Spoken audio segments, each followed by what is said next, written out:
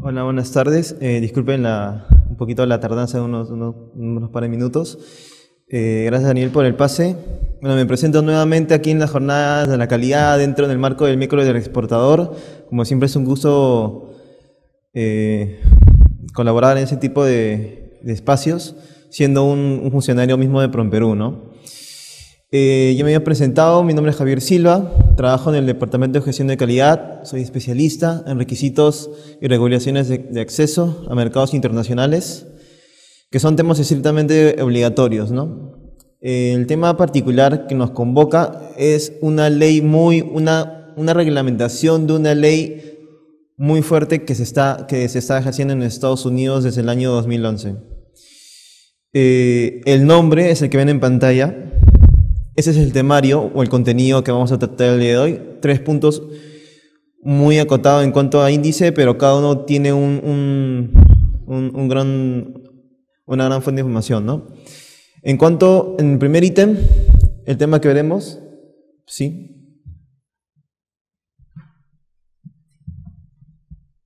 Ah, ¿no se veía?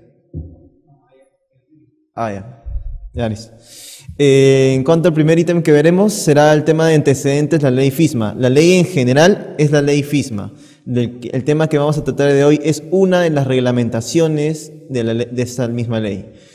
El segundo ítem es justamente la reglamentación a la que hago mención, que es la de controles preventivos para alimentos de consumo humano. Y como un tercer ítem, para cerrar, hablaremos un poco de los programas, actividades, herramientas, informes y material que hemos puesto a disposición del público, de las empresas, eh, con el fin de facilitar toda esta información regulatoria. Antecedentes, un antecedente de esta reglamentación justamente es la ley FISMA como tal. ¿Y qué sucedió? ¿Cuándo se planteó esta ley? En el año 2011, en enero, el 4 de enero exactamente, y para ser precisos, el presidente de ese entonces, Barack Obama, firmó la ley de modernización de inocuidad de los alimentos en Estados Unidos, que es la denominada ley FISMA o FESMA. Es en cuanto a seguridad alimentaria una de las leyes que va a entrar a reformar por completo, es una de las leyes más poderosas que entran a reformar justamente la ley de Estados Unidos en más de 70 años de historia. Eh, tiene como objetivo garantizar justamente el suministro de alimentos en Estados Unidos de una forma segura, cambiando un enfoque que ha estado siendo utilizado no solamente en Estados Unidos, sino que a nivel internacional, que es el enfoque reactivo en cuanto al, a, a, cuestión de alimentos. Y cambiar el foco y cambiarlo por el tema de controles preventivos. Eh, la ley FISMA afecta, para saberlo de una vez, afecta a toda empresa que produce o procesa alimentos que vayan a ser comercializados en Estados Unidos. Quiere decir que esa ley la tienen que cumplir tanto empresas estadounidenses como las empresas exportadoras peruanas. En el marco de esta ley fueron propuestas siete reglamentaciones o también llamadas siete normas finales de la ley FISMA. El día de hoy nos vamos a ocupar de solamente una de ellas. Pero como un tema de, de, introducción voy a comentar brevemente en qué consiste cada una de estas leyes, cuándo fueron publicadas, para quién aplica y, en fin. Justamente antes de comentarles esto, de decirles, ¿no? Justamente cada una de estas normas finales o reglas finales van a, van a, van a entrar a, ejercer control sobre cada una de las cadenas en una exportación de alimentos. Y ahora vamos a, a, definir y encontrar el porqué. Comenzamos con la norma número uno, que bueno, le hemos denominado número uno, que es la de estándares para el cultivo, cosecha, empaque, almacenamiento, mantenimiento de productos agrícolas. También conocida como la, la, norma de productos agrícolas frescos o inocuidad de productos agrícolas frescos. ¿no? Cada una de estas normas tienen un nombre bien largo, bien poco extenso, pero de forma comercial y para difundirlas les han colocado nombres un poco acotados. En este caso, esta, esta norma atañe justamente al sector agrícola fresco. Fue publicada el 13 de noviembre de 2015. ¿A quién aplica? Ya lo comenté, para productos frescos. ¿Y qué es lo, entre sus principales características que busca esta, norma en particular? Busca regular la calidad microbiológica del agua. Quiere decir que el agua usado en la cosecha y post cosecha para eh, para alimentos agrícolas frescos que vayan a ser exportados y comercializados en Estados Unidos va, a tener que ser estudiada. Se va a tener que aplicar perfiles microbiológicos de esta agua, al fin de garantizar de que un producto no haya sido contaminado con su misma agua de riego, cosecha, lavado, etc. También va a regular el ingreso al campo de animales salvajes y domésticos. Eh, dentro de esta regulación, no quiere decir en particular que no pueda, no pueda en una en una granja, en una finca, como también lo llaman esas regulaciones, o en un fundo, una chacra, etcétera, distintos sinónimos por los que conocemos este, a estas locaciones, no puede haber ni animales salvajes ni animales domésticos. Sí los puede haber, pero debe ser un tema controlado. También habla sobre el uso de estiércol fresco, compost y fertilizantes, los denominados mejoradores de suelo. Eh, cómo se deben de utilizar, qué tipo de de gestiones se les debe hacer ese tipo de, de, materiales para ser aplicados en campo y hacen hincapié en la capacitación a los trabajadores en cuestiones o en temas de salud e higiene, lo que ya venía a ser conocido como las buenas prácticas agrícolas.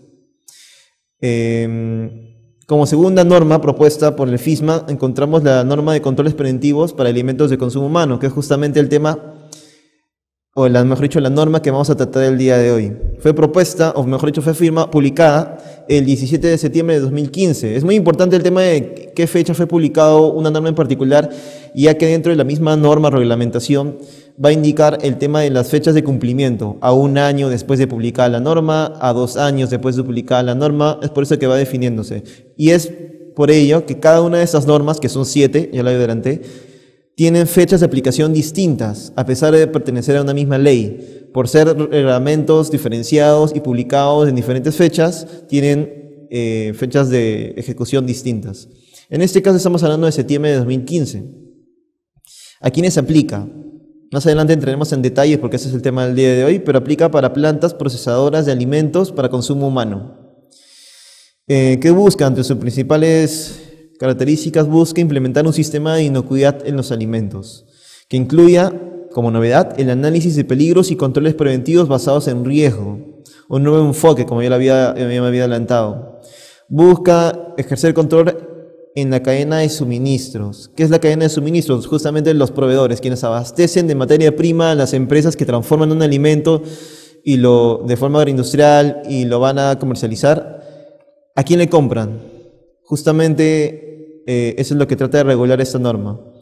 Por ejemplo, salteándome un poco, eh, si yo soy un productor de productos agrícolas frescos, pero no exporto a Estados Unidos directamente, uno podría creer que no tengo que cumplir la norma número uno, que es la para productos agrícolas frescos, pero no es del todo eh, real, ya que si yo soy proveedor de una empresa que industrializa mis productos y los comercializa con Estados Unidos, tendré también que cumplir con la reglamentación de Estados Unidos, aunque no exporte directamente, ya que de no ser así, mi proveedor o mi cliente buscará a alguien que sí cumpla con esta reglamentación.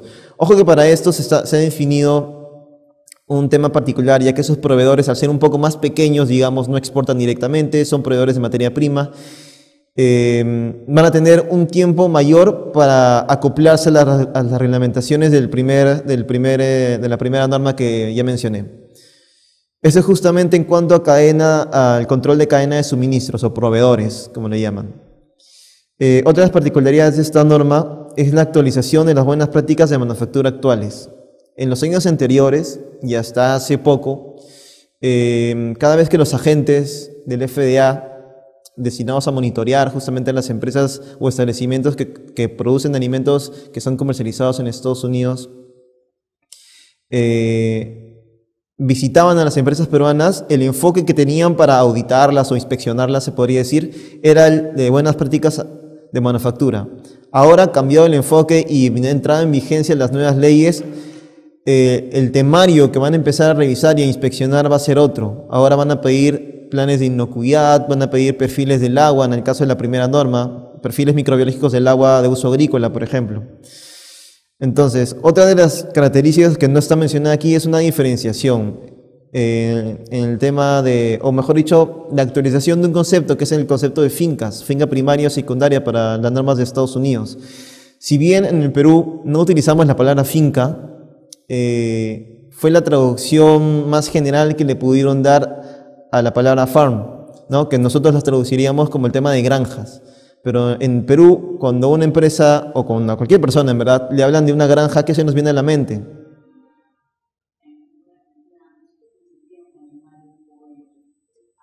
Exacto.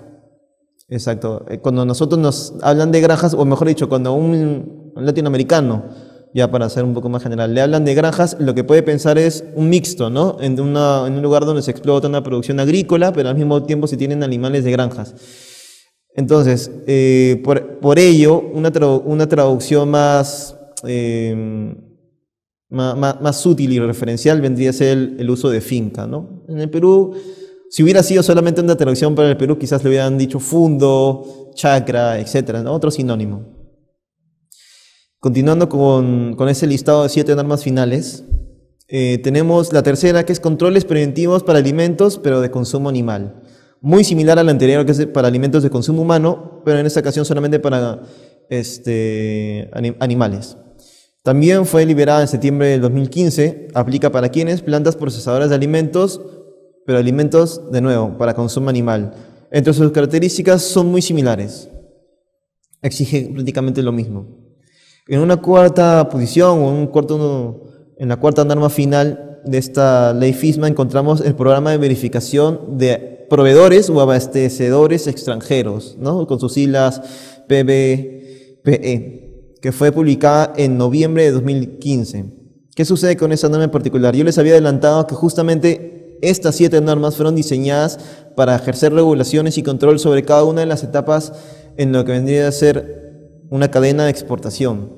Si bien las primeras tres han sido dirigidas justamente para el exportador, ahora eh, Estados Unidos, con esta norma final, la número cuatro, le va a dar mayor responsabilidad al importador. Es decir, eh, cuando nosotros exportamos a Estados alimentos, ya sea transformados o semi-transformados a Estados Unidos, aceptamos de alguna manera eh, regirnos bajo sus leyes.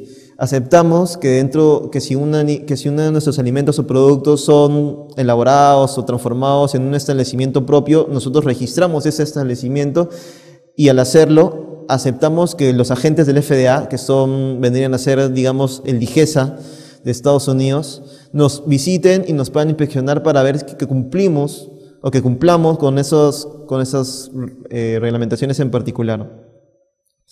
El FA no puede visitar a cada una de las empresas que transforma alimentos y comercializa con Estados Unidos. No tiene el suficiente eh, capacidad de personal, digamos, para que llegara a cada una de esas empresas. Solamente por dar un número estadístico, al Perú, de las no me imagino cuántas son, 200 o 500 empresas que transforman alimentos para ser eh, vendidos en Estados Unidos. El FA el año pasado, en los años anteriores, ha inspeccionado, visitado alrededor de 6 al año. Entonces, imagínense cuánto es el número en porcentaje, ¿no? Es, es, muy, muy corto. Lo que ha... Sí. A ver, un segundo, va a venir el micrófono para que todos escuchamos, o también las que usted tiene ahí, digamos, como dentro de un radio de 200 a 300 empresas que debía haber eh, Estados Unidos visitado en el Perú, eh, ¿cuántas, cuántas em, esas, exceptuando a las seis empresas, cuántas empresas han sido, han tenido productos rechazados en Estados Unidos por, eh, por falta de inspección o, o por ignorar la verificación de FISMA? Ya, todavía no han sido sí, contestando la pregunta, todavía no han sido inspeccionadas bajo el enfoque de FISMA, porque se trataba de empresas que todavía recién se estaban acoplando. Obviamente, después de la publicación de una, regulación, se da un tiempo de adaptación para la industria, para no agarrar los desprevenidos. Ahora, una, una pregunta bien chiquitita. Después de la fecha de publicación, ¿cuándo entran en vigencia cada uno, cada uno de estos cuatro, estas cuatro normas? Ya. Sí, cada una de estas normas eh, en cuanto a sus fechas de, ejecución, digamos, o entrada en vigencia, son bastante particulares. En, esta en este momento estoy hablando de temas generales, como antecedentes, pero voy a comentar sobre las fechas de aplicación de la norma que, del tema del día de hoy, para controles preventivos de consumo humano. Esas sí están diferenciadas en una caracterización de empresas, ya sea por tamaño, de número, número de eh, tamaño de mm, facturación anual o número de empleados. Justamente así lo diferencia la FA para el FISMA. Y sí, esa, esa respuesta la voy a tocar más adelante en las diapositivas.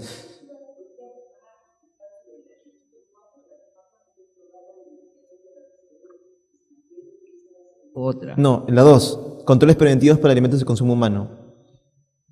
Sí. La de programa de verificación de, proveedores o abastecedores extranjeros, como lo indica, es responsabilidad del importador, no atañe a nosotros directamente. Es del importador. Como estaba comentándoles, es justamente la responsabilidad ya de forma legal u obligatoria que va a tener que, va a tener que aplicar el importador para monitorearnos. Es decir, eh, el importador va a tener que eh, tener personal calificado que pueda hacer auditorías in situ, es decir, personal calificado que venga en, representación del importador a monitorear nuestras actividades y procesos. Esos, y esos informes, esos planes de inocuidad, de información levantada, es información que van a tener que reportar al, FDA, a esta organización estadounidense que, que ejerce control en esta regulación. Es decir, nuestro, nuestro importador, nuestro cliente nos va a auditar. Ahora ya no va a ser solamente el inspector del FDA, ahora también nos va a, nos va a auditar o visitar un, un personal capacitado, calificado de nuestro mismo importador. Y vamos a tener que cumplir con esa regulación. Eh, entre las características, ya me había adelantado, entre las características que tiene esta regulación está verificar que los proveedores extranjeros estén produciendo alimentos de una forma adecuada, ya sea cumpliendo la primera, eh, la primera norma que es para alimentos eh, agrícolas frescos o la segunda que es para alimentos elaborados para consumo humano.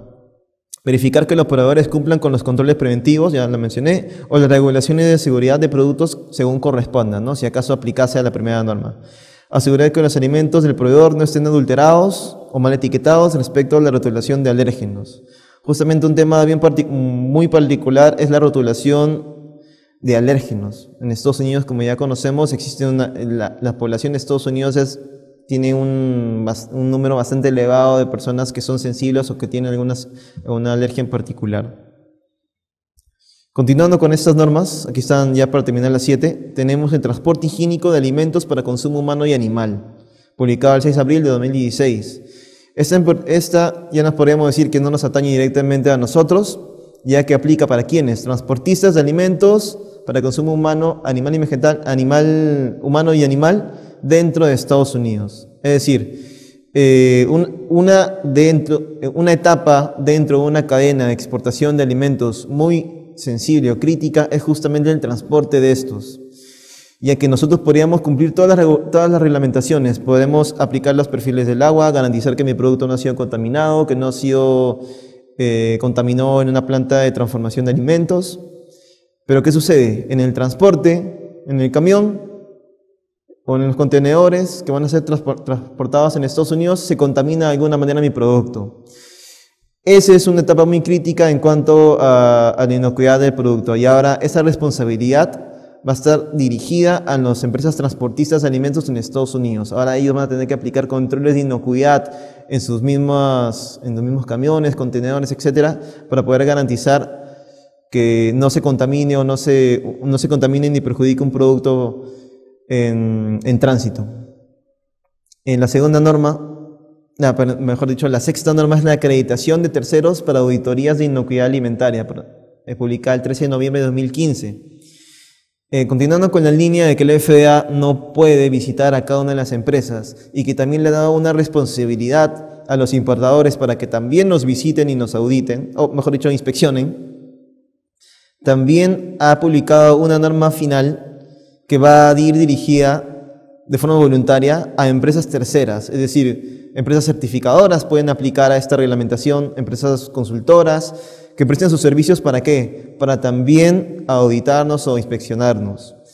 Eh, ¿Qué dice esta reglamentación? Establece un programa voluntario para la acreditación de organismos de certificación de terceros, es decir, empresas consultoras o certificadoras en el Perú, también conocidos como auditores, para llevar a cabo auditorías de seguridad alimentaria y expedir certificaciones de instalaciones extranjeras de alimentos de consumo humano y animal. Hasta hace unos, hasta hace un par de años que recién había sido publicada la norma, por ejemplo, de controles preventivos para alimentos de consumo humano, que es el tema de hoy, eh, no hablábamos de una certificación como tal. Ojo que no estamos hablando aquí de certificaciones privadas, sellos y todo ello. Estamos hablando de temas regulatorios, obligatorios y de estricto cumplimiento. Es por ello que siempre que nos consultaban cómo, por ejemplo, certificarnos en, las empresas, ¿no? Cómo se certifican en FISMA, en controles preventivos, etcétera. Siempre la respuesta era una sola, que no existe certificación para este tipo de, implementaciones, que es una implementación de un sistema de calidad de inocuidad y, la, y su única verificación vendría a ser mediante, mediante pruebas como son los planes de inocuidad o las visitas mismas de los inspectores del FDA. Ahora, en, gracias a la sexta norma final, que es la de acreditación de terceros, sí existirá un tema de, acreditación de instalaciones. Quiere decir que un tercero, un auditor, un certificador, un consultor, va a tener, em, digamos, los permisos del FDA para visitarnos, auditarnos, inspeccionarnos y darnos una especie de validación de nuestros procesos. Ya vendría a ser un certificado, un sello, ya se irá manejando, ya que todavía no es muy, muy claro, estaba un poco difuso ese tema en cuanto a esta norma. Por último, la séptima norma publicada el 31 de mayo de 2016 es llamada Estrategias de mitigación centradas en la producción de alimentos contra la adulteración intencional. Aquí hablamos de estrategias que puedan mitigar justamente una adulteración intencional. Si antes en temas de inocuidad, en las anteriores eh, normas, estábamos hablando de posibles contaminaciones accidentales, ya sea en el transporte, en el campo, en el proceso, por contaminación por animales salvajes, etc. Estamos hablando de eventualidades, accidentes, etc. Aquí ya se trata de combatir y buscar minimizar la adulteración intencional, que puede ser de dos tipos.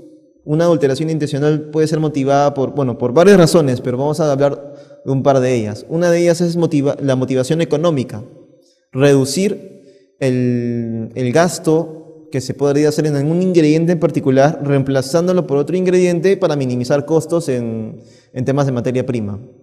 Eso es una adulteración intencional porque es, ha sido adrede, motivado económicamente para reducir gastos no tiene que afectar directamente la inocuidad de un producto, quiere decir que un ingrediente puede ser reemplazado, pero no necesariamente nos va al consumidor final, que somos las personas, no nos va a causar daño a la salud, más sí es un tema de engaño al público, ¿no?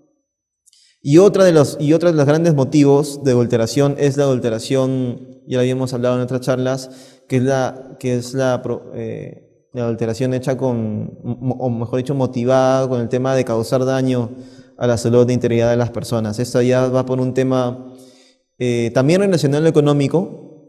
Por, ejemplo, un, un, trabajador disconforme que trabaje, que siga laborando en sus instalaciones, que esté molesto con la empresa y que quiere causarle un daño eh, publicitario a la empresa, puede contaminar una cierta, ciertas cantidades de productos adrede y causar daño a la salud de las personas. ¿Esto qué generaría? Uno, lo más importante, enfermedades, posibles pérdidas humanas y lo que buscaría es causarle daño a la empresa también, ¿no? en cuestión de publicidad, demandas, etc.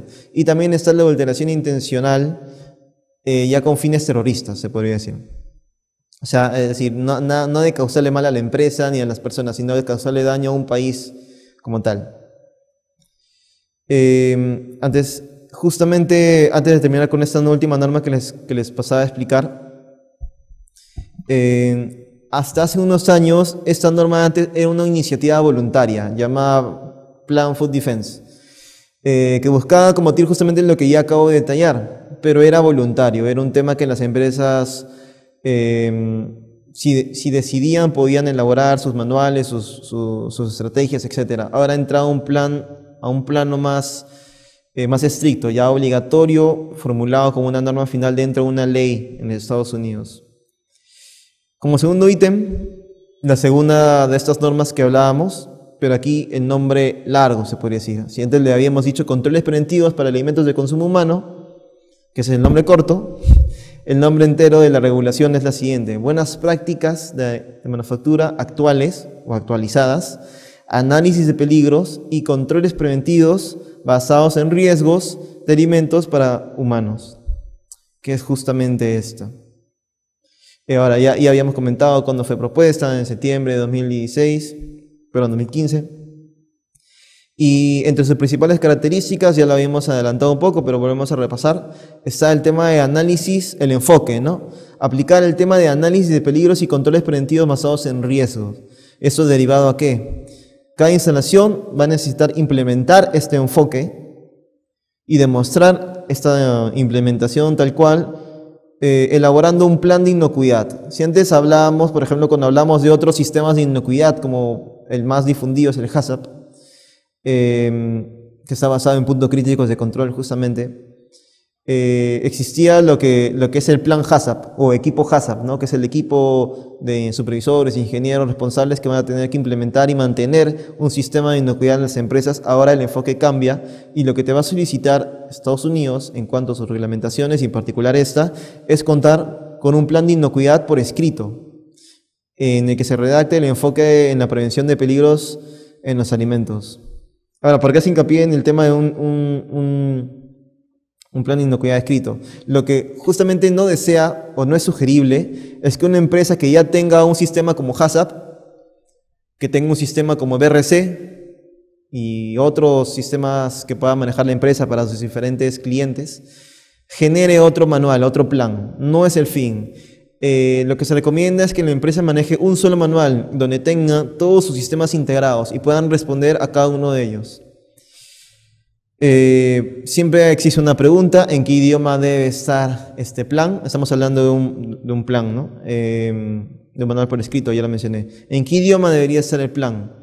Ahora, en la reglamentación estadounidense en ningún lugar dice que tiene que estar en inglés. Ahí este, siempre entra la, la, duda. En ningún lugar dice que debería estar en inglés. Simplemente dice que tiene que ser de fácil eh, legibilidad, ¿no? de fácil entendimiento. ¿Y quién finalmente va a ser responsable, además de los mismos este, ingenieros de la empresa, que mantengan el sistema, quién va a ser responsable de verificar ese plan de inocuidad? Vendría a ser el cliente en Estados Unidos, o el, importa, eh, mejor dicho, el importador en Estados Unidos o un agente de la FDA que inspeccione tu planta y te pida tu manual, que es como, digamos, eh, la ruta que va a seguir. Y para ellos, ¿cuál es la fácil legibilidad, el fácil entendimiento? Justamente que esté en su propio idioma. Es por eso que esos planes eh, de inocuidad es muy sugerido que estén en idioma inglés.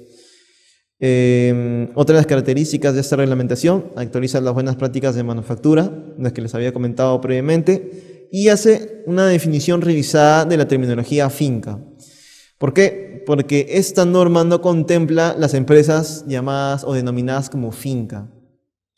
Las empresas denominadas o, que eh, tienen sus procesos, procesos en establecimientos denominados finca están, están reguladas por la primera norma, que es la de productos agrícolas frescos, justamente. Y como hace, hace este punto diferencial, Em, menciona quiénes están sujetos a esta norma en particular.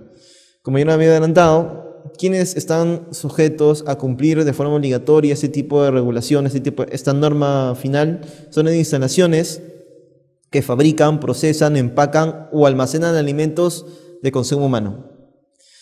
En general, todas esas empresas que al mismo tiempo elaboran productos para su consumo en Estados Unidos deben registrarse, como ya lo habíamos mencionado en otras charlas, deben registrarse en el FDA, que es el, portal del FDA, mejor dicho, para obtener un código o un número diferenciador, que es el código llamado número de registro de instalaciones, número FDA, código FDA, que es un código de 11 dígitos y que forma parte de otra ley, que es la ley contra el bioterrorismo pero que eh, dentro de las características de las empresas que deben continuar con esta, que deben cumplir esta regulación, están esas. Las que se hayan registrado deben cumplir con, esta, con este tipo de, norma.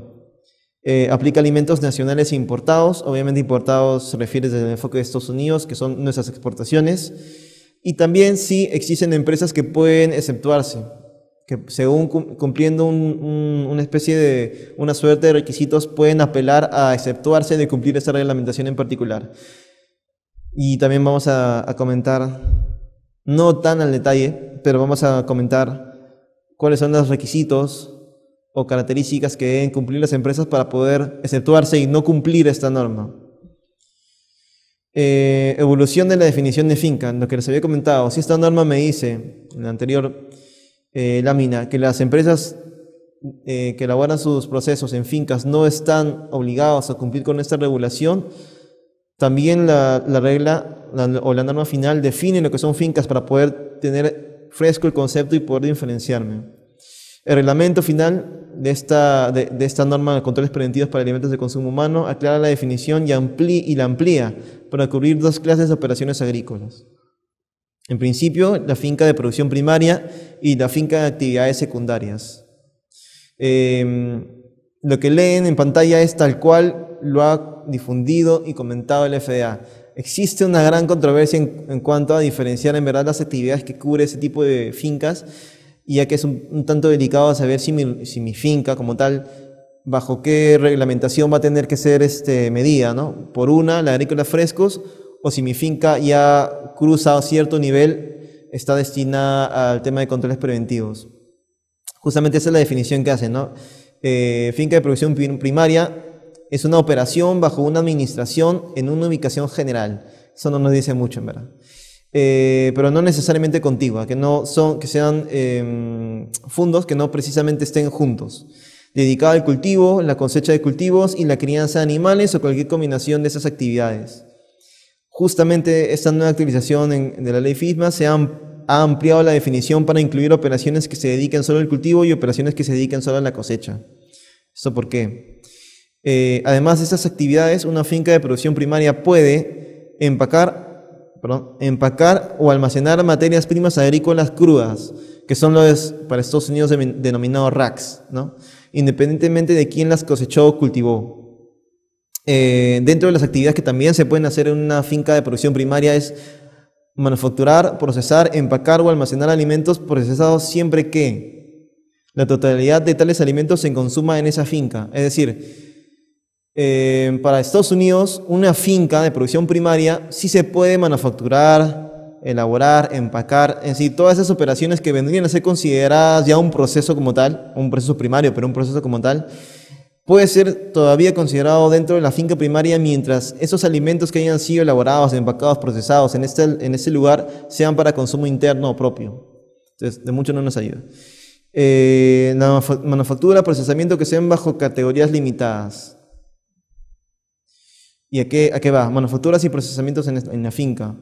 Actividades como cuáles? ¿Cuáles son esas, categorías limitadas o actividades limitadas? El secado, deshidratación de algunos productos agrícolas, agrícolas eh, como podría ser el secado de uvas para producir pasas. ¿no? Estas todavía, a pesar de que es un proceso como tal, eh, todavía sigue considerándose como una finca de producción primaria.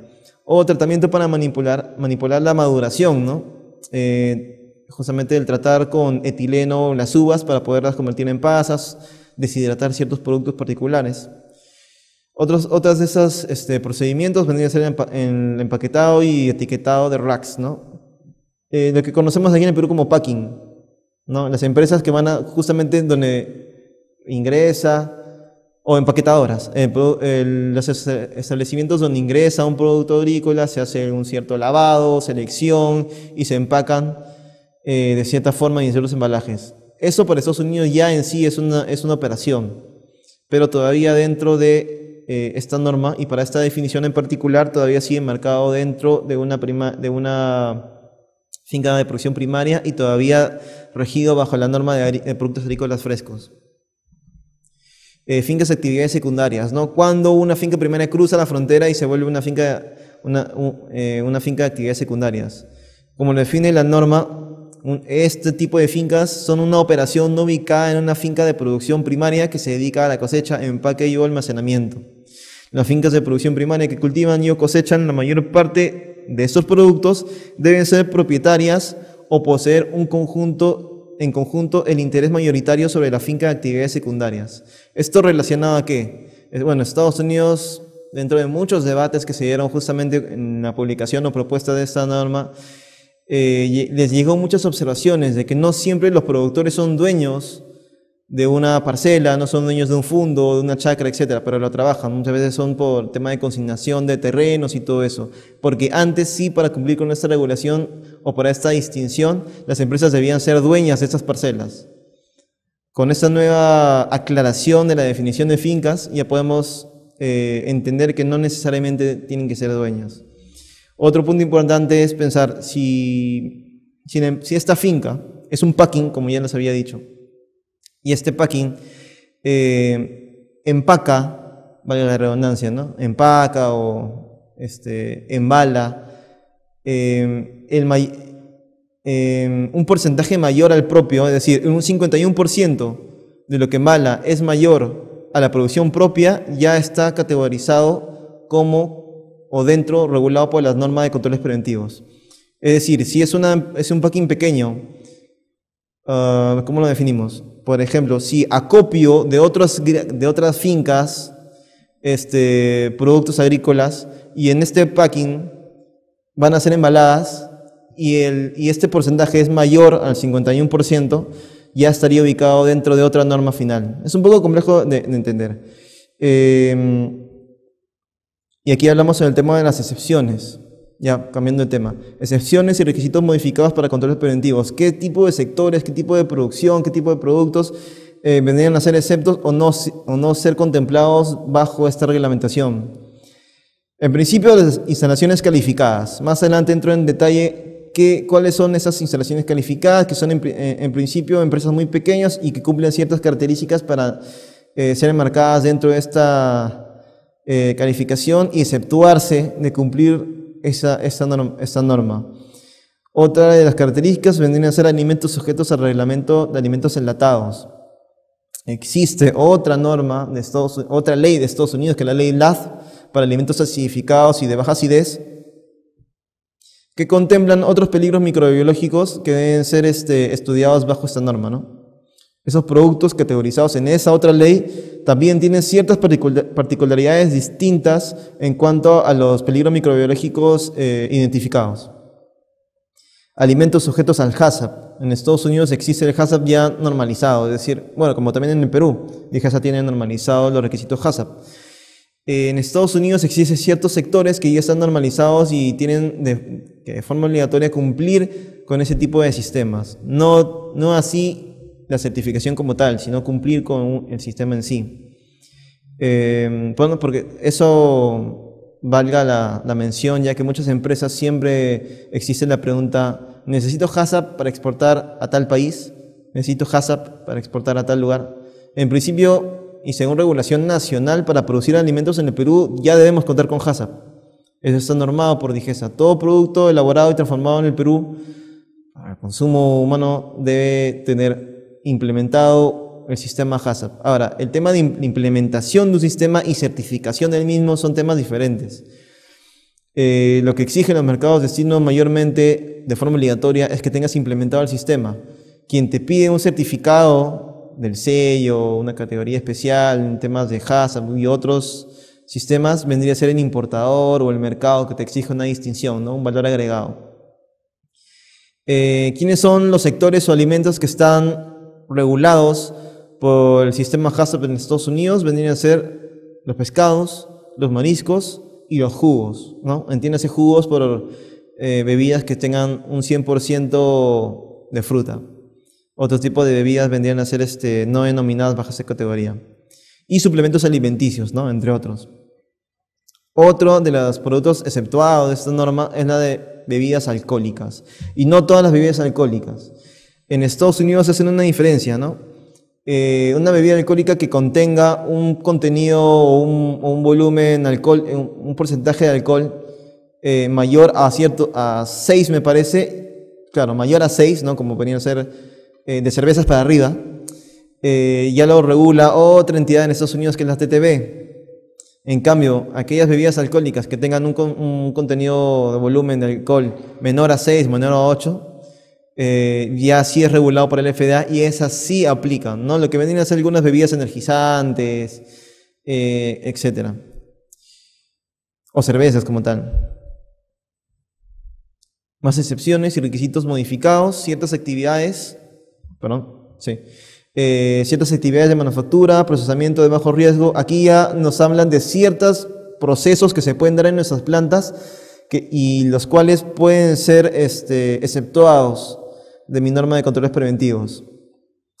Eh, o también pueden ser esos procedimientos, actividades hechas por empresas muy pequeñas o exceptuadas, que yo más adelante voy a comentarles, en fincas para alimentos específicos. Uno de esos, uno de esos procesos vendrían a ser, eh, por ejemplo, producción de mermeladas, que también es exceptuado, jaleas, conservas de frutas, eh, por considerar la naturaleza implícita del producto, ¿no? Es un producto significado eh, que podría garantizar de cierta forma que, un, que, no, que patógenos no puedan desarrollarse en, sus, en su contenido. Otra de estos este, productos vendrían a ser los granos molidos. O sea, todos los granos. Si me están hablando de granos de quinoa, ese producto no entra o no es contemplado bajo esta regulación. ¿Por qué? Porque hacer un producto seco y no tener actividad de agua, no puede generarse la reproducción de patógenos. ¿no? Entonces sabemos los, los microorganismos se desarrollan por la existencia de, alguna especie de humedad en el producto. En este caso, en un grano seco no habría eh, posibilidad de una contaminación en ciertos patógenos. algunos aceites, eh, por ejemplo, aceites de, de semillas de girasol, algunos aceites de frutas o verduras, y este, algunas almueras en particular, ya que, de nuevo, por las características ácidas de sus productos, por el mismo nivel de pH, etcétera, garantiza o de alguna forma garantiza que no puedan desarrollarse microorganismos patógenos en su contenido. Eh, hablamos sobre una de las exigencias que las empresas peruanas tendrán que cumplir para poder justamente eh, cumplir de forma satisfactoria esta, reglamentación en particular. Una de ellas es, ya lo había mencionado antes, elaborar y tener consigo un plan de inocuidad alimentario para la empresa. Este plan de inocuidad alimentario no sugerido, de forma sugerida no debe ser distinto al plan HACCP, al plan BRC, sino que se debe tener uno, contemplar uno y que, y que, y que uno con, consensuado y que cumpla con las exigencias de cada una una certificación privada aquí, por un mercado, una certificación privada, eh, para otro mercado y la obligatoriedad que exige la FDA. ¿Cuál vendría a ser el índice que va a tener que cumplir mi plan de inocuidad alimentario? En principio, y como ya la norma lo dice y lo repite cada instante, el análisis de peligros. Yo, mi primer paso es identificar los peligros que pueda, eh, los, eh, los, peligros que pueda encontrar en mi, en mi, en mi cadena de procesamiento identificar los peligros. Luego de ello, si existen peligros eh, que yo deba eh, cuidar dentro de mis instalaciones, tengo que proponer controles preventivos. Es el segundo paso y el segundo punto de mi, de mi plan de inocuidad. Si no existiesen controles preventivos asociados o identificados después de un análisis, no los tengo que poner. Lo obligatorio es el análisis de peligros. Los controles preventivos son un tema eh, relacionado a si encuentro o no. El tema del programa de cadena de suministros, como ya me había adelantado. Eh, si yo soy una empresa transformadora de alimentos y me proveo de materia prima de otra, una pequeña, de, una pequeña otra, de otra pequeña empresa, voy a tener que yo también inspeccionarlo, visitarlo, auditarlo, pedirle sus constancias de capacitación, sus planes de inocuidad, etcétera, más destinado a otra norma del FISMA que es la de productos agrícolas frescos. Porque si estoy transformando alimentos, se supone que mi, materia prima son productos agrícolas y, otras, este, y otros ingredientes. Entonces tengo que asegurarme que mi proveedor, un paso más atrás en la cadena, que mi proveedor también esté cumpliendo con la reglamentación de FISMA de Estados Unidos. Es por eso que estas empresas un poco más pequeñas van a tener un tanto más de tiempo para acoplarse. Las que no lo hagan dejarán de proveer materia prima a las empresas exportadoras. Es por eso que, y bajo esa reglamentación, Estados Unidos asegura de que las empresas tengan mayor control sobre la materia prima, a quienes le compran y todo ello. Otro de los puntos que debe incluir el plan de inocuidad es el plan de retiro de productos.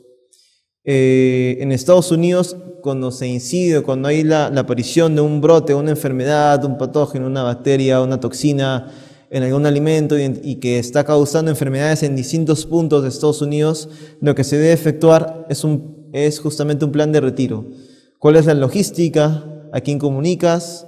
Eh, ¿Cuál va a ser las gestiones necesarias que va a tener que hacer la empresa importadora, obviamente, para poder retirar del mercado un producto en particular? No solamente por temas de inocuidad, no, no solamente por un tema que cause daño a la salud. También podría ser un tema de calidad, mal etiquetado. Si yo identifico que he etiquetado mal un producto y esto es identificado por mí antes que por el FDA, yo voluntariamente puedo eh, aplicar mi plan de retiro de productos. Es decir, eh, y por dar un ejemplo, ¿recuerdan el tema sonado de, ese producto lácteo eh, peruano que primero fue retirado de Panamá? Y luego cuando explotó, cuando explotó el tema en Perú, se hablaba de, de que ese producto había sido retirado de los supermercados, de las bodegas, etc. Justamente ahí se aplicó un plan de retiro, pero no fue por un tema de inocuidad, fue un tema de mal etiquetado. Entonces ese es un ejemplo de un plan de retiro. Eh, y esto no es nuevo, el plan de retiro. Antes siempre se hacía, es decir, si ante, la identificación de algún brote de, alguna enfermedad o, la identificación de que una etiqueta expresa mala información de un producto particular, siempre se han dado eh, retiros de mercado. Antes no era obligatorio que la misma empresa la suma. El, FDA, en Estados Unidos ya, en el mercado estadounidense, te daba a elegir, ¿no? O lo hace la misma empresa o lo hace la FDA, pero se hace. Pero si lo hace la FDA, le pasa la factura a la empresa, ¿no? Y uno este, vaya a saber cuánto, cuán, hasta cuándo puede elevarse que una institución tercera realice toda esta gestión logística. ¿no? Eh, como siguiente punto, tenemos procedimientos de monitoreo y vigilancia, ¿no? Eh, procedimientos estandarizados y transversales a lo largo de todo mi plan de inocuidad. Procedimientos de acciones correctivas. Si acaso yo identifico o encuentro que he fallado en mis controles preventivos, es decir, Identifiqué, identifiqué peligros, propuse controles preventivos, pero aún así, en alguna etapa de mi producción, fallé. Entonces tengo que identificar, hacer un reanálisis de todo mi plan de inocuidad alimentario y saber qué pasó, qué sucedió, qué se hizo mal y proponer acciones correctivas. Un ejemplo de ello, y ya no un tema netamente de inocuidad, vendría a ser el tema de que un operario nuevo, o un colaborador, este, no haya sido capacitado y haya confundido las bobinas de etiquetados, de etiquetadas para productos diferentes. Por ejemplo, un chocolate, ¿no? un chocolate que sí contenía trazas de alérgenos y otro lote de chocolates que no contenía, que haya confundido las bobinas, es decir, eh, las etiquetas. Que haya confundido las etiquetas y un producto en particular salió al mercado que tiene trazas de alérgenos y en su etiqueta no dice nada de eso. Entonces, ese es un error de, de calidad por el tema de etiquetado y eh, la acción correctiva vendría a ser la nueva capacitación del personal, etc. No, no destinado exactamente al, plano de inocuidad. Luego tenemos como último punto eh, los procedimientos de verificación, también transversales a lo largo de todo mi plan de inocuidad. Y aquí entramos en detalle, ¿no? cada uno de ellos. Por ejemplo, el primer punto del que hablé era el análisis de peligros. Siempre me adelanto y comienzo a hablar de cada uno de ellos. Eh, lo primero es identificar. Identificar mis peligros, lo anterior fue un resumen. ya me adelanté. Lo primero, mi análisis de peligros es identificar cuáles van a ser los peligros eh, presentes en mí a lo largo de mi cadena de producción. Esos peligros van a ser enfocados en, cuatro aspectos, que vendrían a ser el tema biológico, químico y físico, eh, conocidos a razonablemente previsibles. Esos peligros podrían ocurrir de forma natural introducirse de forma involuntaria o introducirse intencionalmente con el fin de obtener una ganancia económica. ¿no? Lo que habíamos hablado justamente y lo que le compete a la séptima norma, que es una adulteración intencional basada en, en la parte económica.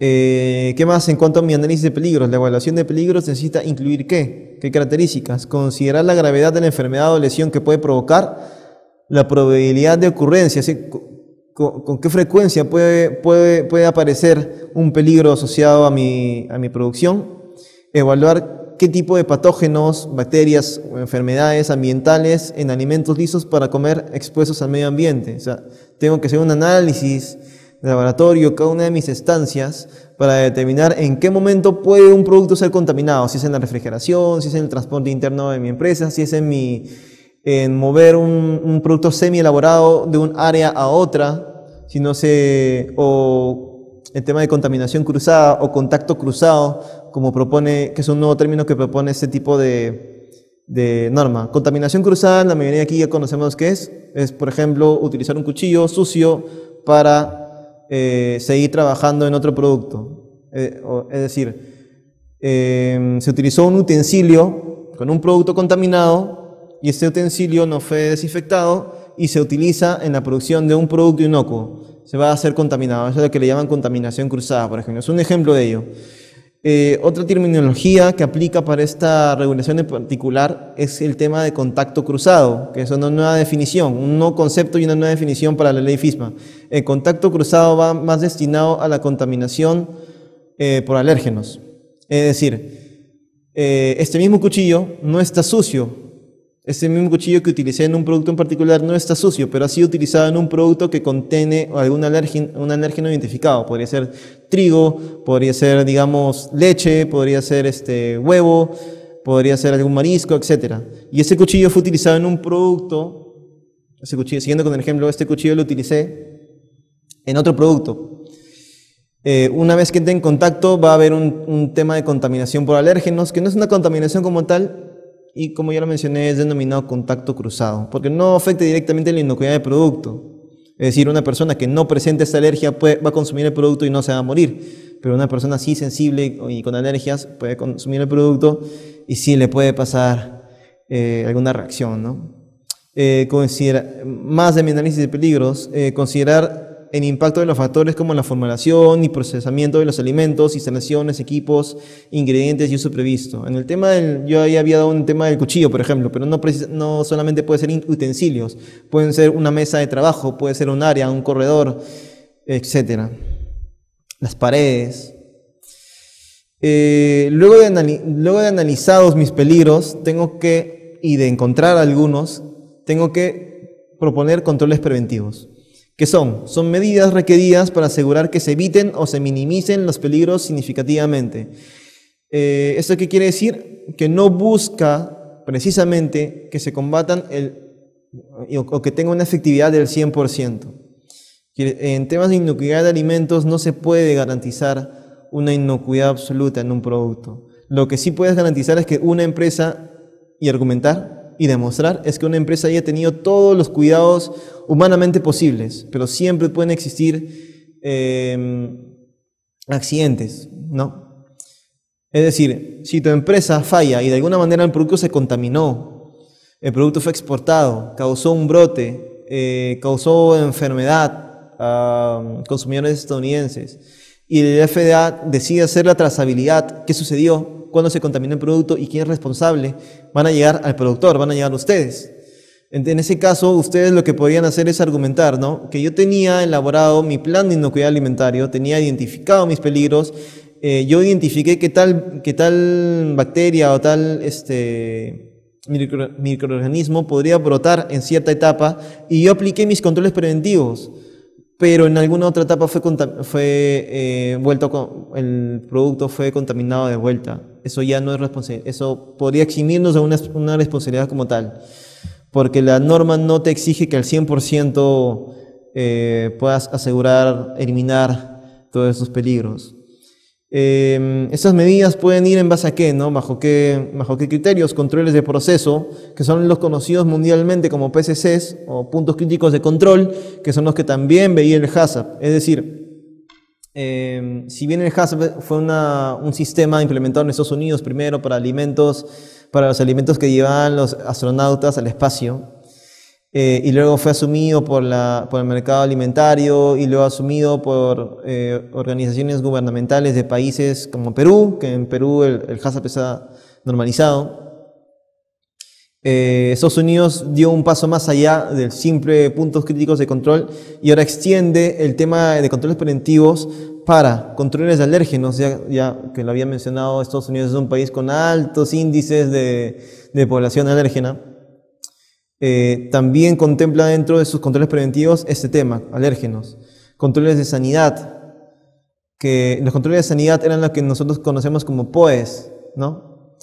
Eh, y los POEs son llamados eh, sistemas prerequisitos, POEs o buenas prácticas de manufactura, BPMs, son lo que localmente consideramos como sistemas prerequisitos que debo de cumplir antes de poder implementar un HACCP.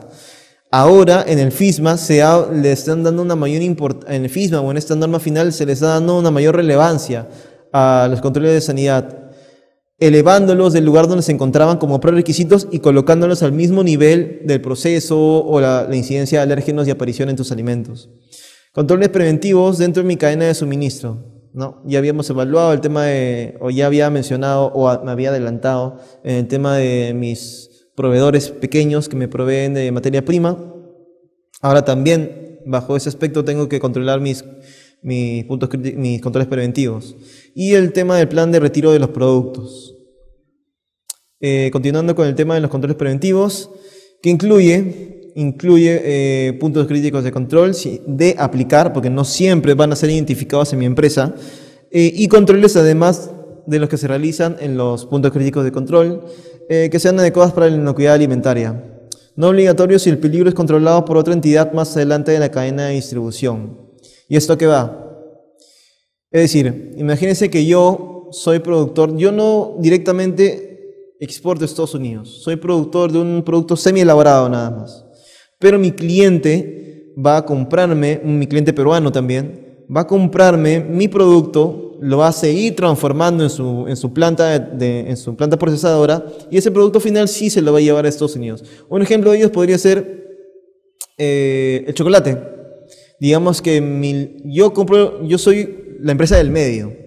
Yo compro cacao. Yo solamente hago la pasta de cacao y la vendo a otra empresa que hace el chocolate y el chocolate sí lo exporta. Yo soy el del medio, ¿correcto? ¿Yo qué tengo que cumplir? Mi cadena de, eh, proveedores. Tengo que verificar que el cacao tenga, haya sido eh, cosechado bajo la reglamentación de productos agrícolas frescos del FISMA. Tengo que verificar justamente eso. Y ahora, la empresa que hace el chocolate, como yo soy su proveedor, yo estoy dentro de su cadena de proveedores. La empresa que haga el chocolate va a tener que ir un paso atrás en su cadena y verificar que justamente yo le provee alimentos que cumplan con los controles preventivos.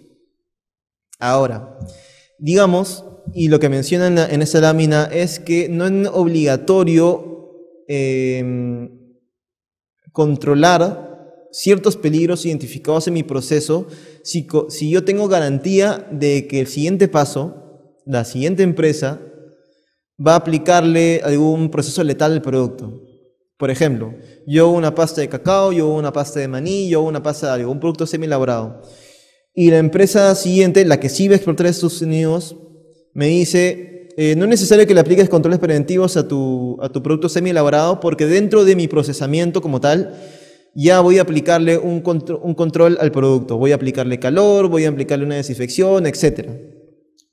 Y esto lo tengo que asegurar con una carta de garantía, porque con, el, con los agentes del FDA me inspeccionen a mí, me van a decir, eh, controles preventivos, análisis de peligros, ya, yo analicé que en mi cadena, en mi pasta, en mi elaboración de pasta o de cualquier otro producto semi-elaborado, eh, yo encuentro un peligro asociado, puede ser un patógeno, una salmonela, etcétera, algún, alguna, algún microorganismo. Yo lo identifiqué, pero tengo mi carta de garantía de que mi cliente, el que sí exporta a Estados Unidos, eh, redacta que ellos se van a ocupar de este proceso y que me exime a mí de, poder eh, aplicar cierto, cierto proceso para abaratar costos, etc.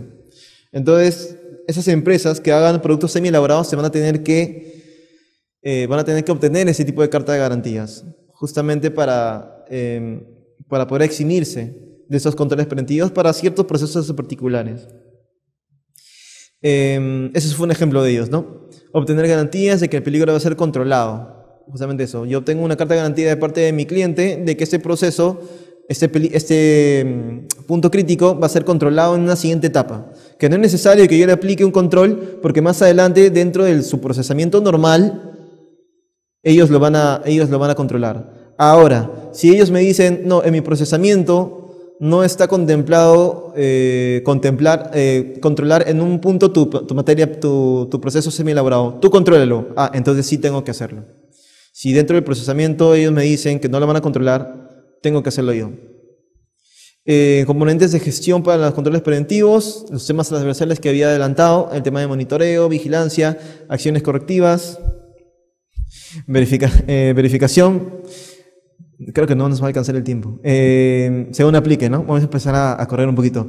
Plan inocuidad alimentario, ya en el tema de verificación, que incluye, de acuerdo con las instalaciones, el alimento y la naturaleza del control preventivo, ¿no? Eso podría darse que verificación en los ámbitos de validación de controles preventivos, eh, verificación del monitoreo y acciones correctivas, calibración de los instrumentos que puedan usarse en mi procesamiento, eh, pruebas de producto, monitoreo ambiental, revisión de registros. ¿no? Todo lo que debe acompañar una implementación de un sistema de gestión de inocuidad es justamente los registros, ¿no? las pruebas que evidencien que yo estoy continuamente controlando los procesos, mis controles preventivos, etc. Eh, programa de cadena de suministros, ya me había adelantado, ya les había explicado, creo que un, un, tanto claro a qué se refiere el tema de cadena de suministros, ¿no? verificar que mi, que mi cadena un paso atrás de mí cumpla con, los, con, con lo según las leyes de Estados Unidos. Por ejemplo, yo soy el, de nuevo, yo soy el proveedor de pastas. Tengo que, según la cadena, según mi cadena de suministros, el productor de cacao debe cumplir con la norma de inocuidad alimentaria de alimentos frescos y según la cadena de suministros, yo soy un proveedor también y tengo que cumplir con los controles preventivos para mi cliente, para mi siguiente cliente. El tema del proveedor, justamente aquí define qué es. Eh, nuevamente, programa de cadena de suministros, esto ya me había adelantado y, y, espero que haya quedado claro. Actividades de verificación del proveedor. Yo tengo que verificar a mi proveedor de materia prima. ¿Qué tengo que hacer? Auditorías in situ. Tengo que enviar personal calificado que verifique justamente, eh, que audite a mi proveedor eh, según la normativa de Estados Unidos, porque finalmente es lo que tengo que cumplir. Toma de muestras, análisis de laboratorio, revisiones de registros, como ya le había explicado, todo sistema de inocuidad tiene que, tener, tiene que ir acompañado de registros. Entonces, si mi proveedor también está aplicando un sistema de inocuidad, también debe tener registros y evidencias, o según sea el caso. Mi proveedor lo tengo que verificar. Yo soy, yo soy el proveedor de alguien más, me van a tener que verificar a mí también el proveedor, de, en ese ejemplo, chocolate, me va a, va a mandar a un personal calificado que me, que me pida todo esto. Eh, auditorías in situ, ¿quiénes serían los encargados de hacerlas? Ese tipo de auditorías podrían ser empleados de gobierno, funcionarios tipo SENASA, tipo DIGESA. No, SENASA si es, eh, para ejemplo del cacao, o DIGESA si es un ejemplo para el, el, la pasta. Eh, terceros podrían ser consultores externos, empleados de la instalación que recibe el producto. Quiere decir, yo puedo mandar a mi propio empleado para que haga la auditoría. Y ellos, para este ejemplo, eh, el elaborador de chocolate puede mandar a sus propios empleados capacitados para que me hagan auditorías a mí. Eso se da en la industria, alimentaria. Es que tan alejados no estamos. Esto, esto ya se viene dando. Siempre se hace una, una auditoría a mis proveedores. Esas son algunas, y no lo voy a por temas de tiempo yo no lo voy a tratar a detalle, pero esas son algunas de las características o diferencias o mejoras con respecto al plan HACCP tradicional que eh, todos debemos conocer en cuanto en, en tema de cuestión de alimentos y lo que el sistema de controles preventivos añade, ¿no? En una columna el elemento análisis de peligros que me indicaba mi plan HACCP verificar en temas de eh, peligros biológicos, químicos y físicos, solamente por decir un ejemplo. ¿Y qué añade el FISMA? Eh, incluir en los peligros químicos el radiológico. Nos liberamos por ese lado porque peligros radiológicos están directamente relacionados al tema de eh, plantas nucleares que estén cerca a, una, a plantas de producción de alimentos, digamos, ¿no? Pero aquí en el Perú no, no existe de eso. Así que otros países más industrializados y de primer mundo son los que se tienen que preocupar por ese punto. Controles preventivos, antes solamente hablábamos de PCCs en el HACCP y ahora en el controles preventivos hablamos de PCCs más otros puntos que no son PCCs, como ya lo habíamos dicho, alérgenos, eh, sanitarios, proveedores. Y así uno, uno a uno, ¿no? Les comporto la lámina.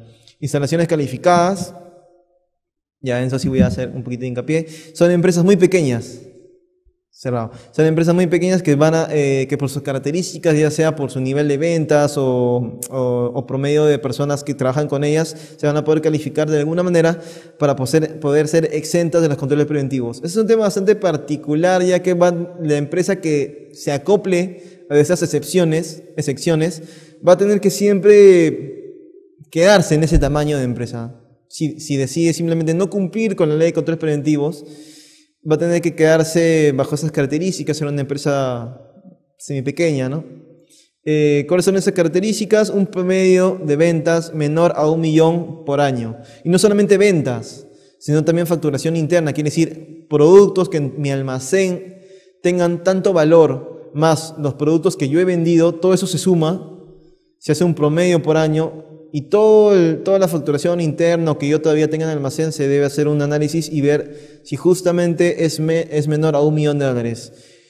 En un año, creo que eh, hay, hay, ciertas empresas, siquiera las más pequeñas, que sí van a poder cumplir con esta excepción. Y ahora hablando sobre las fechas de cumplimiento. Em, pasado septiembre de este año, creo que voy a dejar de hablar de esta lámina. Y ahora me van a entender por qué. Eh, apenas salió la norma, lo diferenciaron de esa manera. Las empresas muy pequeñas, que sean aquellas que eh, tengan un registro de ventas menor a un millón de dólares, eh, tendrían que cumplir esta regulación a tres años de su publicación, es decir, en 17 de septiembre de 2018. Es decir, ya, en una semana creo.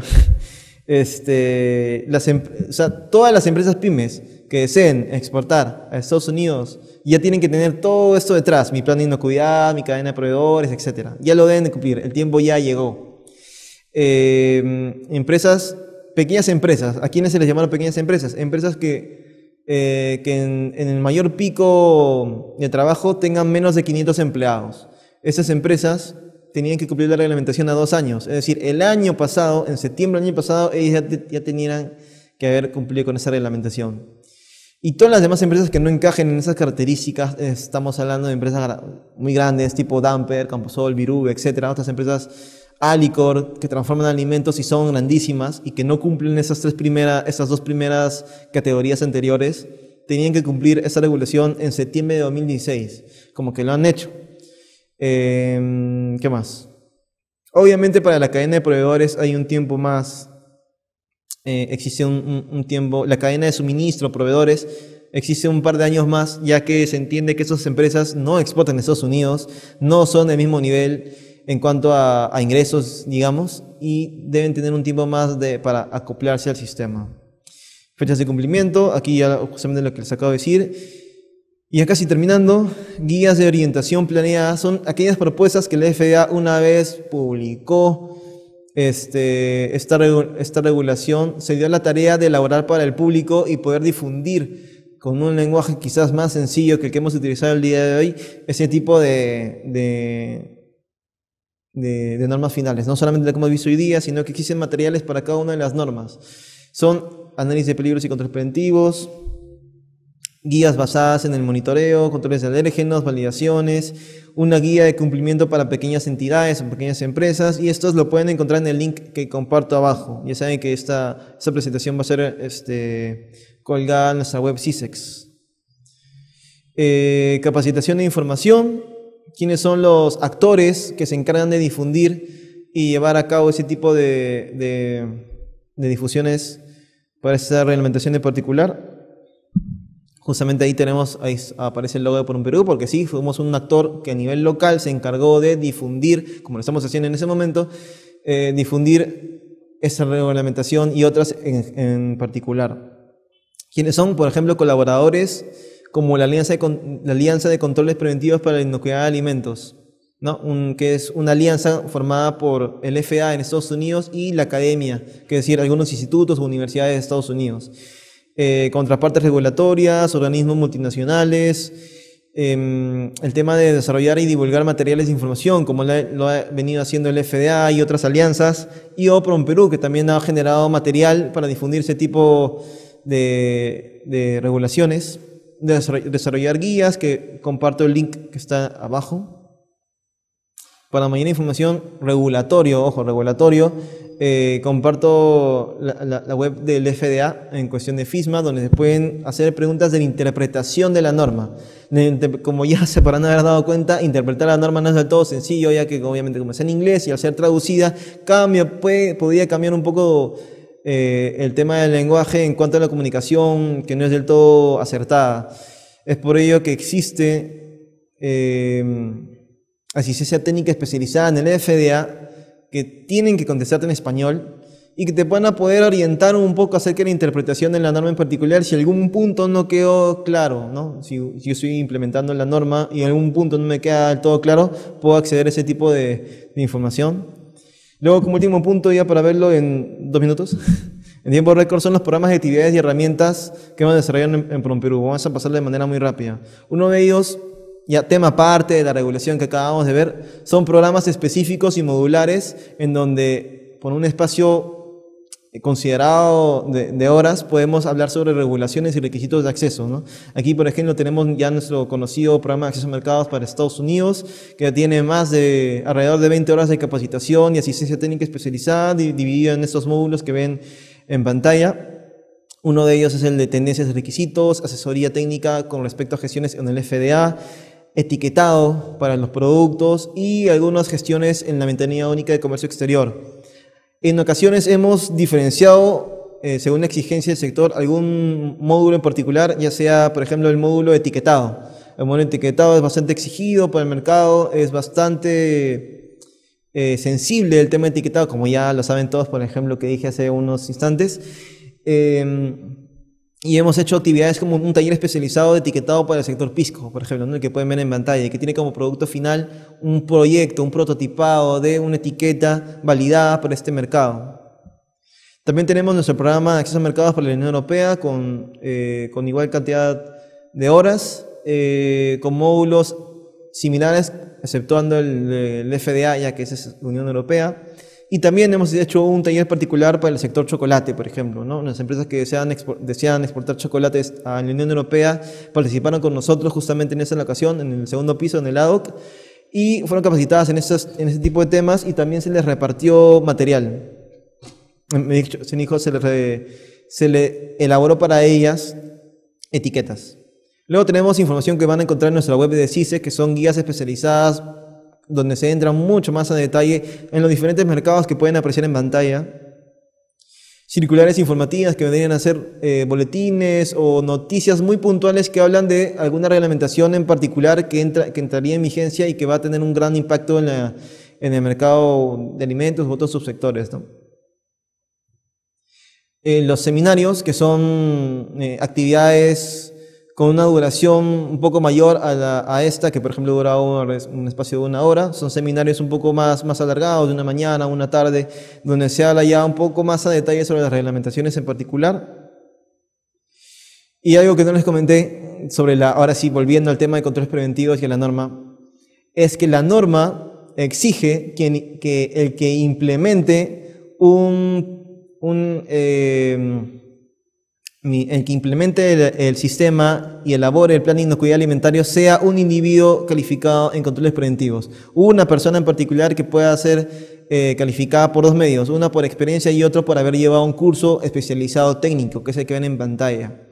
Ese curso lo ha dictado Perú, es un curso técnico con una duración de 20 horas, eh, donde se hace talleres, prácticas, etc. Y Perú lo ha dictado en tres ocasiones, en Lima, en Tacna y Arequipa para un total de 66 empresas alrededor. Y hay que hacer un curso especializado, técnico y con un formato estandarizado y validado por la FDA. Mm, solamente nos permite un número acotado de participantes, ¿no? alrededor de 25 o 20 personas. Eh, hemos llevado otro curso, también este en particular relacionado a la primera norma, la de inocuidad de alimentos agrícolas frescos, también tiene que tener un personal capacitado en esa norma particular. Cada empresa debe contar con una persona que esté capacitada en esos temas. Cada empresa, por regulación. Entonces también hemos llevado este curso en particular, lo hemos dictado en Arequipa, en Chiclayo y en Moral. También hemos desarrollado y implementado herramientas informáticas, herramientas virtuales, donde van a poder acceder a esta y a más información, no solamente para el mercado estadounidense, sino a otras. Comparto el link donde van a poder acceder a estas webs. Una de ellas es el RAM, No vamos a hacer el ejercicio por, un, tema de, tiempo. Me parece que ya estamos, ¿no? ¿Terminamos? Eh, pero les comparto la información, el número de partidas arancelarias o productos que van a poder encontrar en esta web. Los invito, desde sus celulares pueden ingresar a la web directamente ram.promperú.gov.pe y ver cuánta es la información que puede eh, contener para, para diferentes mercados. Por ejemplo, son 200 productos y a, diciembre de este año van a tener 18 posibles países en su búsqueda. Quiere decir algo de más de 3.000 posibles resultados en, en, la web. Luego tenemos, esos, esos son los ítems que, que van a ser contemplados en el RAM. Esos son los, para el sector agro y agroindustrial, esos son para los diferentes sectores, porque no solamente tenemos a agricultura y agroindustria, tenemos el sector pesca, el sector manufactura y el sector de industria de la vestimenta o textil. Esa es la visibilidad que van a poder tener en sus smartphones. Y luego tenemos nuestra web especializada de plaguicidas, el eh, límite máximo de plaguicidas o residuos de plaguicidas. Y hemos también elaborado otros documentos relacionados a otras regulaciones para mercados distintos de Estados Unidos, como en este en particular la Unión Europea, con el tema de los novel foods, ¿no? esos productos que no pueden ingresar eh, con libertad a la Unión Europea si no han ingresado hasta antes de mayo del 1997. Tienen una particularidad y un tipo de estudio adicional y análisis adicional para poder ingresar. Damos un ejemplo y la elaboración de ese tipo de expedientes. ¿no? Eso es todo por hoy. No, la fecha está mal. Eh, eso es todo. Eh, dejo mi web. ¿Sí? Bien.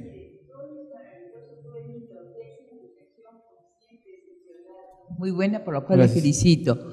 Pero tengo una inquietud, y es una inquietud muy justa, y es la siguiente. Mire, todas esas eh, mejoras del FISMA a Estados Unidos, dentro, dentro de Estados Unidos está bien que lo hagan, porque ellos es una obligación, pero para nosotros que somos países de tercer mundo, países emergentes, eso conlleva una parte negativa. ¿Cuál es?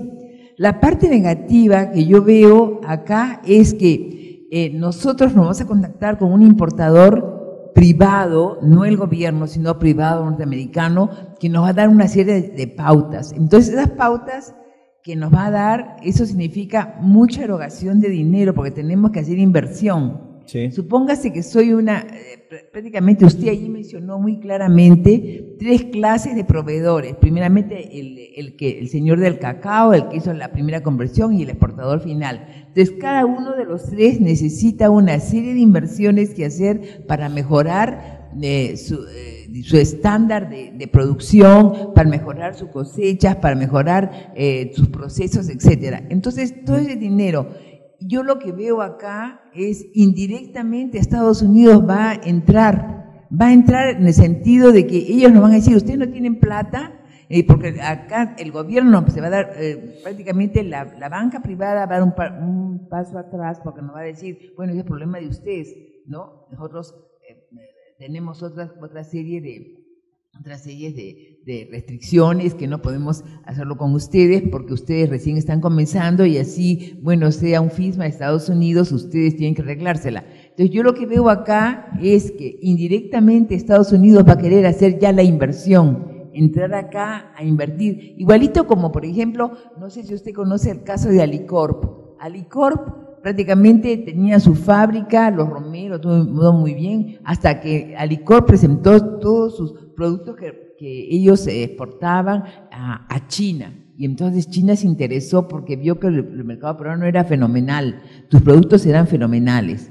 Entonces, ¿qué cosa hicieron los chinos? Han venido y han invertido. Entonces, ellos, si usted ve la, la, la, la capacidad de la planta que tiene ahora Alicop, es algo fenomenal, pero hay una tremenda inversión china. Entonces, yo lo que veo acá que posiblemente a consecuencia del FISMA y a consecuencia que esto ya entró en, va a entrar en vigencia a partir del 18 de septiembre en dos casos, entonces, entonces acá también Estados Unidos va a hacer una inversión grande, pero, eh, pero ya con ciertas restricciones, porque yo hago mi inversión y digo, bueno, el producto que me vas a dar va a ser óptima calidad yo lo acepto, todo perfecto, pero tú no vas a exportar ya a Europa, ni a Asia, ni a ninguna parte, porque yo quiero prácticamente ser absolutista, yo quiero que todo el producto sea para mí. porque es lógico, porque el mercado de Estados Unidos son más de 200 millones de habitantes.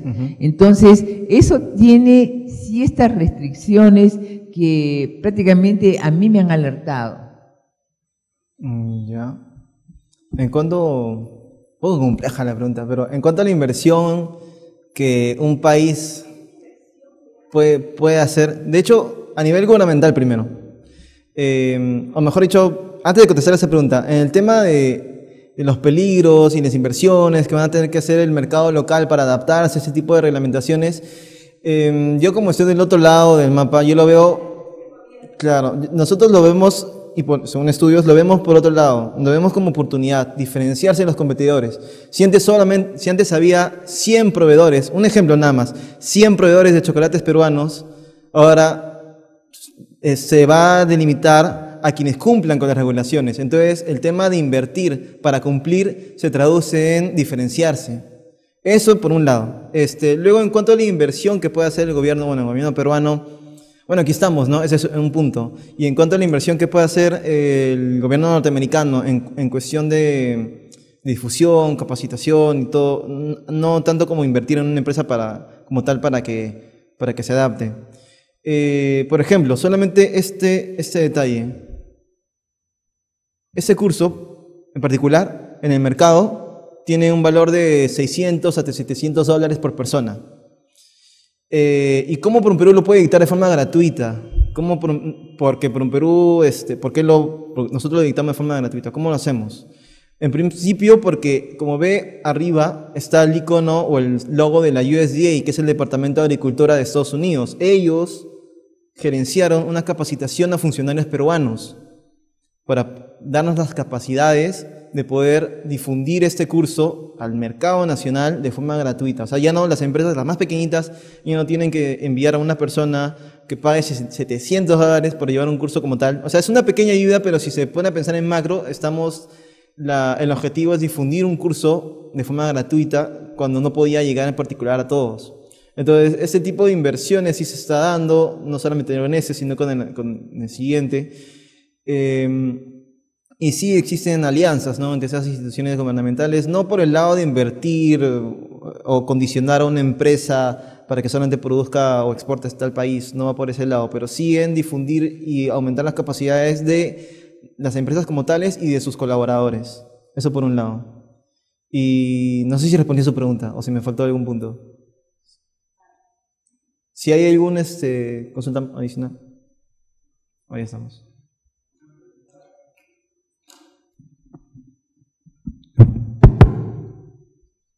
Eh, buenas, buenas tardes. Este, tengo una pregunta. ¿Hazard tiene que ver con el control de seguridad de los suministros? ¿Perdón? ¿Hazard tiene que ver con los controles de seguridad de los suministros?